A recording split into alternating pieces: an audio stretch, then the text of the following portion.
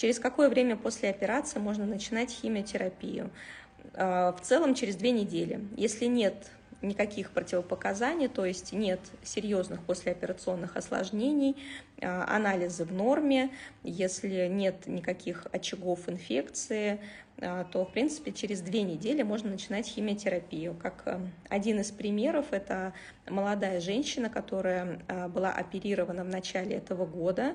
Ей была выполнена роботическая операция. Я рассказывала про нее в сторис и она часто бывает на этих прямых эфирах, и если вы здесь, э, то можете помахать нашим участникам. А, так вот, ровно через две недели после роботической операции, а после операционный период у нее протекал очень хорошо, ей был, ей был начат первый курс химиотерапии.